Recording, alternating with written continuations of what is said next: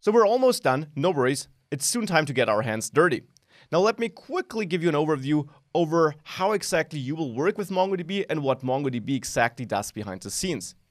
So we can generally differentiate between the application, so let's say your node application you're creating, and the data layer. Now in your application, you will have some front end that can be a single page application, that can be a mobile app, uh, that can be the views your Laravel or your node app renders.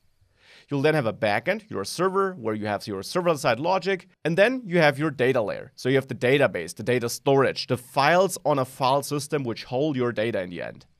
You have the MongoDB server, and you have on the backend server where you will write your code, you have these drivers for the different languages.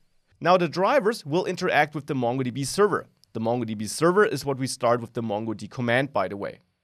Now the MongoDB server will actually not directly write the data into files, but talk to a so-called storage engine, which you could replace with your favorite storage engine, but the default one, called WiredTiger, is actually an awesome storage engine which allows you to efficiently work with your data, store it efficiently, and so on.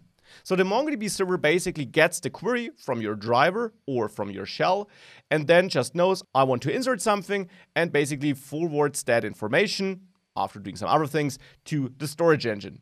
And the storage engine then stores it in files in the end. And instead of the drivers, you can of course also use the Mongo shell. There you can also write all the queries. And as you will also see in this course, you would also use the Mongo shell as a general playground and also for administrating your server, because that is not something your app will do. If you have to configure something, you would do this as an administrator from your company network through that shell, which is your direct access to the MongoDB server. Now, if we have a closer look at the data layer with the server, the storage engine, and the file system, then we actually have to differentiate between writing and reading from files, which is a bit slower, and writing and reading from memory, which is faster. The storage engine actually does both.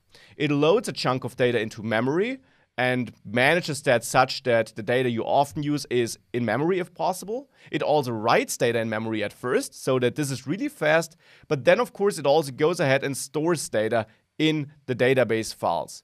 And I will dive a little deeper into that later in the course, but in general, you need to be aware that you always talk to the MongoDB server, and behind that server, the server talks to the storage engine, which manages your data and stores it in files in the end, but also in memory in between, so that you can work with the data in a very fast way. So, this is how the MongoDB server works behind the scenes, you could say.